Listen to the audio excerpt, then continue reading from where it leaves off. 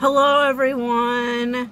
It is kind of Tuesday. It's Tuesday night after midnight, but I'm calling it Tuesday, which means it's Bloobs Day, which means it's time for another Bloobs Day Challenge!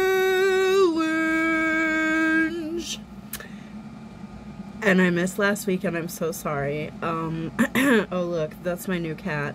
Her name is Salvador Dali the cat because of her mustache. Um, but mostly I call her Schnow. Schnow! And she's fairly uncontrollable, but you gotta get down, buddy. Uh, that's her new cat tree behind me. She's new. I've had her for about five or six weeks now.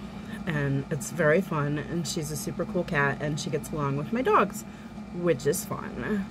Uh, I have the full incredible journey slash homeward bound situation now, which is a older dog, a younger dog, and a cat. So I already have a outline for a sequel film involving my small dogs because the dogs in those films have usually been medium to large size. Anyways, it's exciting. It's whatever. Who cares? Um, I probably seem a little off kilters today. Even my angle just went weird because my phone started to fall. Um, I'm having one of those times right now where like technologies aren't working quite right with me and I'm not feeling well. Um, I haven't mentioned this in my Bloobs Day videos because it's not very bloobish, but um, starting on December 31st, 2023, my ears both like sealed up and basically the like tube that controls the pressure of stuff that goes in and out of your ear uh, like apparently is like collapsed inside there. So back and forth it'll be this year that's all the way plugged or this year that's all the way plugged. Sometimes they're barely plugged but they're never all the way open. And just this week uh, this one plugged up a lot and like super hurts It actually started to happen last week, which is partly why I didn't make my video, but the main reason is because I was out having fun at open mics. Oh, look, there's the Schnow. She's up on her climby thing. Um, so if I sound kind of nasally and I'm kind of like, you're like, I've been watching these videos. I don't even know if there's a person who does. I don't know if any person watches these videos, but YouTube tells me that a couple people do, so shout out to you. It might just be me looking at the video. I don't even know how it works. I don't really, it doesn't really matter that much to me. I do these because it's fun to me. It reminds me of who I was when I was making those videos that are on the playlist. They're not actually on this channel because they're on my original channel, which something changed again, do I understand how things work? Mm, no, N no.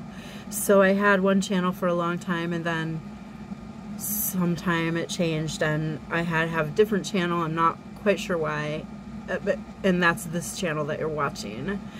Uh, so my original Bloobs Day Challenge videos are on my old channel, but they're on the playlist on this channel. So if you do want to go back and see that content, which is from 2018, which seems like a long time ago now, and actually is quite a long time ago now, uh, feel free. They're there. That's what prompted me to start making these ones because I was like, as I told you, I go, you know what? The world needs more of these again. There's more blueberry related things than there used to be even then. So let's have some fun with it. And also, I just am like, might as well make a videos. Uh, people make videos. if you want to put a comment on my video and tell me other videos you want besides blueberry videos, I can make a lot of different videos. I have a lot of topics. You could ask me questions. I used to have a service called You Can Talk to Em, and it was basically just putting my phone number on my social media and letting people just call me and ask me questions or talk to me and um no but I don't have social media other than YouTube now so and I don't want to put my phone number on YouTube that's a little too could potentially result in me receiving a phone call all the time. Which that's narcissistic, isn't it? Because I'm going, oh, everyone will see my phone number and want to talk to Em. Literally, I'm making this video right now because hardly anybody wants to talk to Em. That's why Em is talking to this video. but look, I'm not trying to be down. it probably seems like it. It's not. My mom is coming here to visit me. This is the big news in Em land right now. My mom's gonna be here in like at the end of this month. She's gonna be here for my birthday. Uh, she's gonna be here for one week, the first week of June. And I need to tell you guys, I haven't physically seen my mother since I visited Michigan to visit her and others in at Thanksgiving and into the beginning of December of 2015. So like this Thanksgiving it will be nine years since I seen her. So luckily we're not going to get all the way to the nine year mark because she's coming at the end of this month and you go, oh, do you hate your mom? Is that why you haven't seen her? No. I what I hate is airplanes and especially airports. And so that's what kind of caused the problem because I had such a anxiety inducing experience coming back to California from Michigan in 2015 when I was leaving there from that trip that I was like, I don't I can't do this.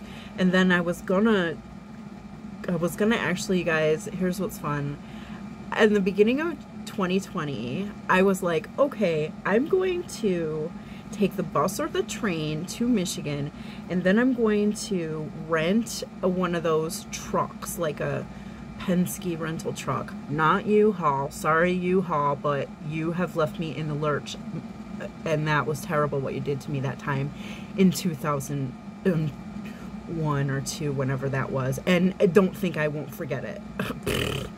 So um, I was going to rent one of those trucks, get the stuff that I had left at my mom's when I was moving to California originally in 2014.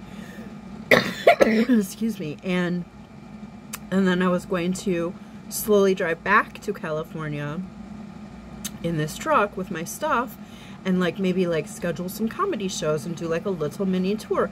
And my plan for that was to do that in like May or June of 2020. Ah ha ha ha ha. And then that obviously became a total impossibility. So hmm, then I would have only not seen her for pff, five years. Ugh which previous to that, the longest I had ever went without seeing her was three years, and that was oh, terrible. And so imagine how I feel right now. It's like been almost three times as long. Like the good thing is, is that I talk to my mom every night on the phone, and I have been since July of 2020. Um, fun story is that I had hit the wall with the pandemic in July 2020, and I was crying on the phone to my mom one night and she goes, I think I'm just gonna call you every night now. And I go like, that's a great idea, mom. And so she does now. And honestly, I lived in her house with her the last like five years I lived in Michigan before I moved out here. And I didn't talk to her as much when I lived in the house with her as I do now because we talk every night. And we definitely did not talk every day or even every other day.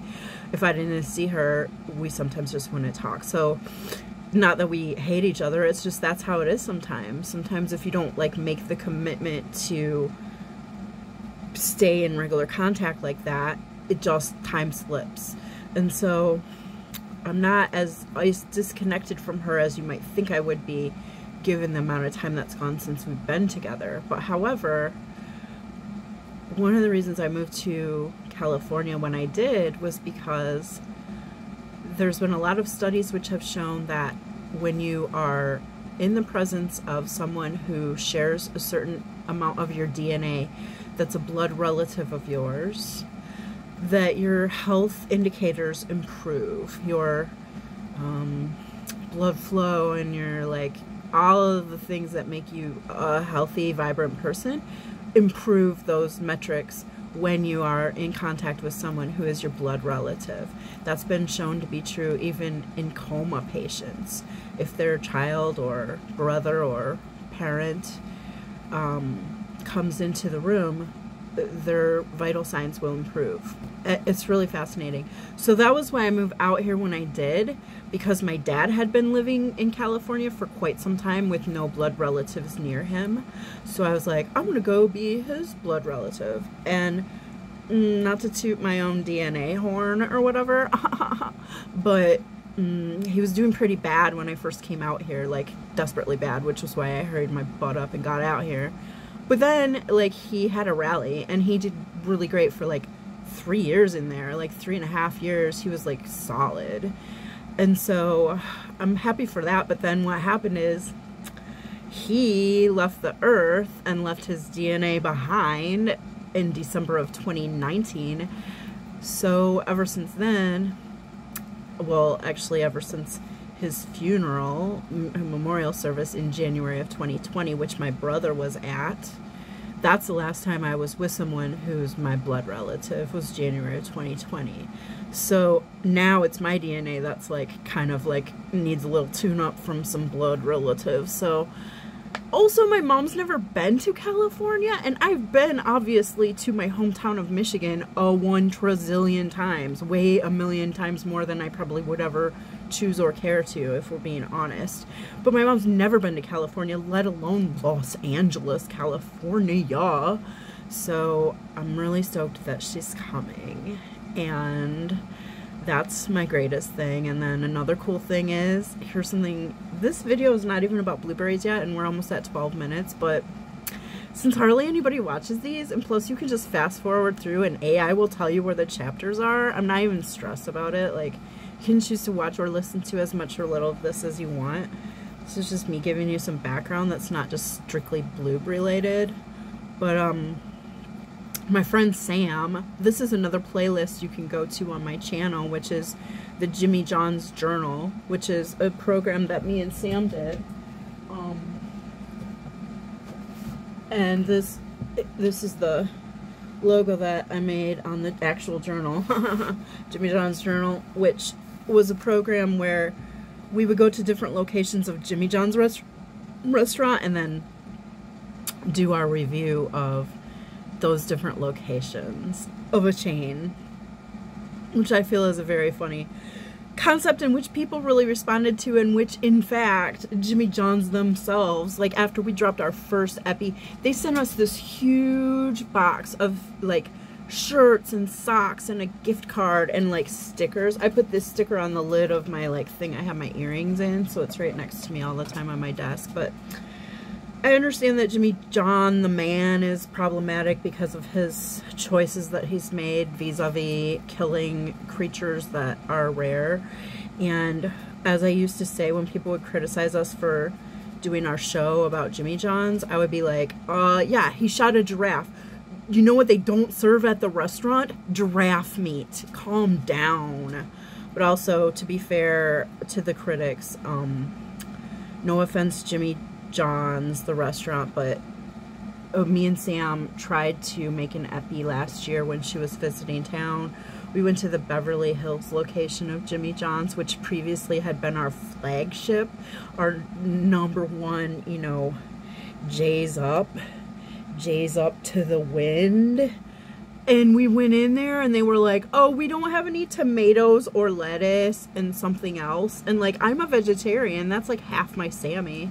So we didn't even go in there. But anyways, the Sam, speaking of pandemic, in August of 2020, she and her now husband, then boyfriend, Derek, moved to Austin, Texas um, well, they didn't move there straight away. I'm just giving all the info right now. They like stayed with family and friends for a long time and then eventually settled in Austin because Austin, if you don't know, if you're not in on the comedy scene, Austin was a place among a few places during the heavy, heavy lockdowns where there was still the ability for people to perform comedy live and there was a lot of people who relocated to there at that time. So they also did that and they still live there now. And today I was just like texting people. I just had this moment today where I was like, I'm just gonna text a bunch of people like who I haven't talked to in a while just to be like, hey, what's up? And I texted Sam and sent her a couple of pictures of us from the Jimmy John's journal. And she wrote me back and she goes, oh, we're in LA, but I don't know if we'll have time to hang out. And I was like, what? Because I don't have social media. I don't know where people are. Like, if you're on social media, you kind of know, oh, these people are going to be in town around this time, or, you know, this is what's happening with people. I never know what's happening with anybody, literally. So I was just texting her, and then it happened that she had landed in LA from Austin like one hour before I texted her. She goes, I can't believe it. She's like, I'm in LA, but I just don't know if we'll be able to hang out. I was like, it's okay. I didn't even know you were in LA. but here's the fun part. Her husband, Derek, um, Derek Poston, if you know him, he's pretty famous um, guy now at this point. He's been famous for a while, like in comedy. I don't know how much outside comedy, but again, I don't know a lot about a lot of things that are happening in the world because I stay in this room right here where you see all these little buddies and like living animals. I'm like, I have everything I need.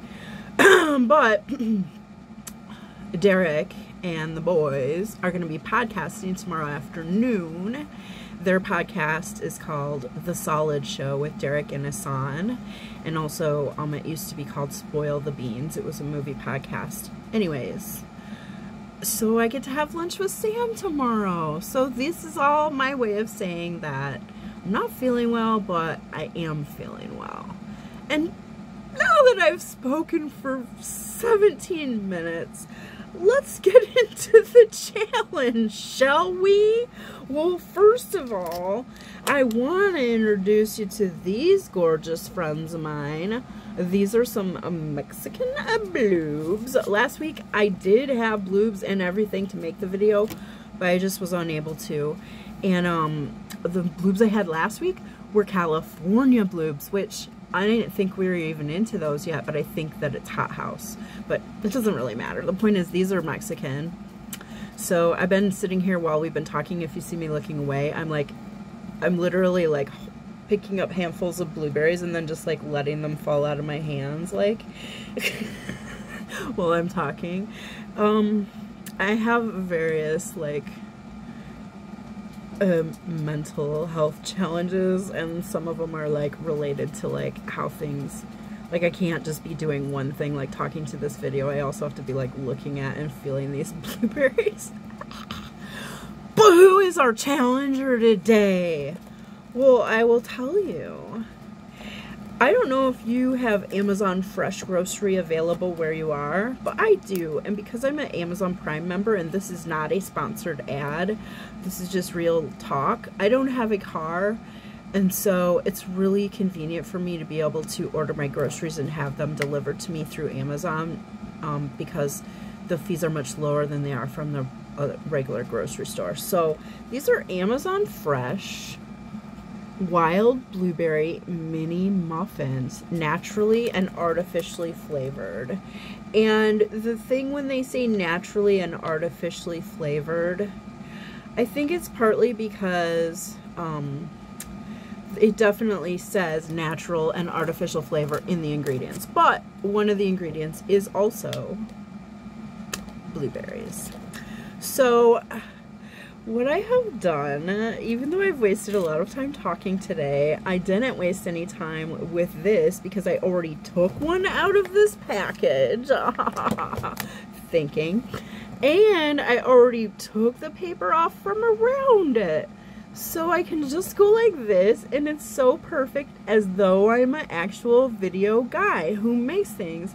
And it's like one of these videos. So I want you to see the beautiful little blueberry muffin. It's, I don't know if they're wild blueberries. I think they say wild blueberry, but it's like, is the guy really going around and picking these in the woods for Amazon Fresh Grocery? I doubt it. So they're probably just regular blueberries. But it has like a crumble on the top and the top is, you know, kind of baked golden and then like in Seinfeld, like the stump is like just um you know, not as like browned up because obviously the paper is what gets brown. So, Oh, let's taste it. First of all, I will say it smells very blueberry-ish. It does smell muffin-ish. It's gonna, it's a muffin. But it definitely has a strong blueberry flavor, so I'm gonna take a bite. I'm gonna take a bite that includes top and bottom, or top and stump if you are a Seinfeld person. Mmm. Mmm, that's good. You can see there's blueberries inside too.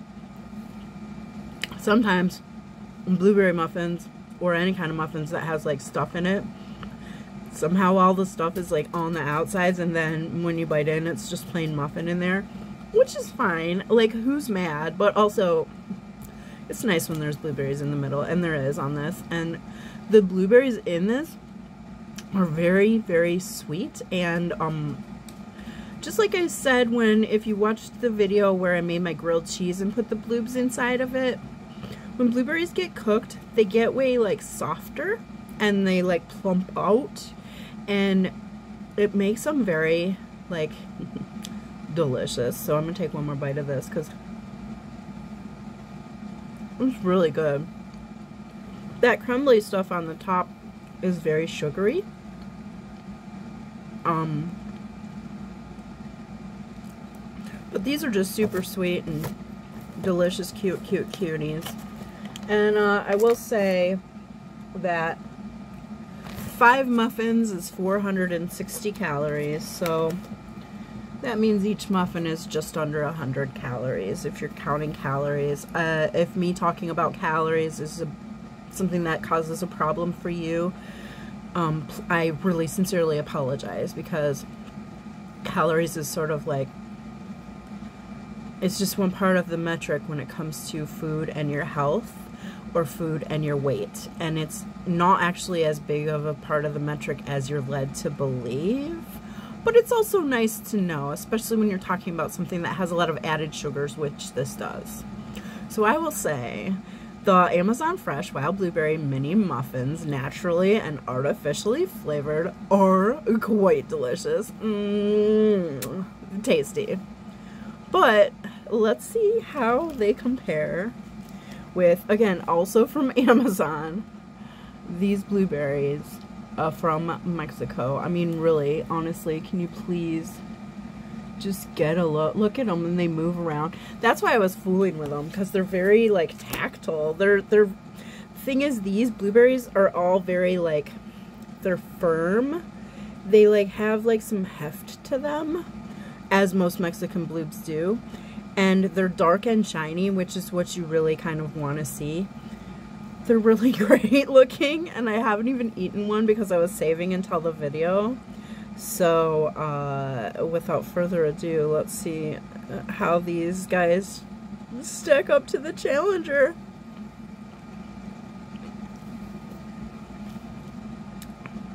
Oh my gosh.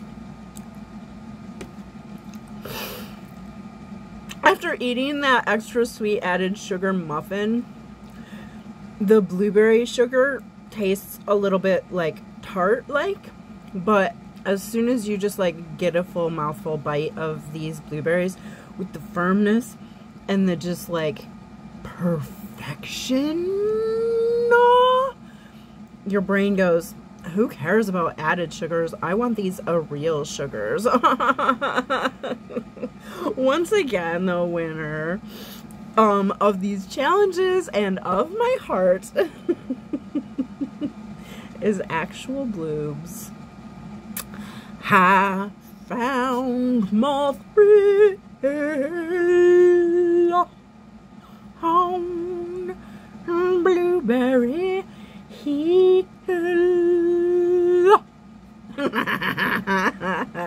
Happy Bloobs Day. This is an extra long video.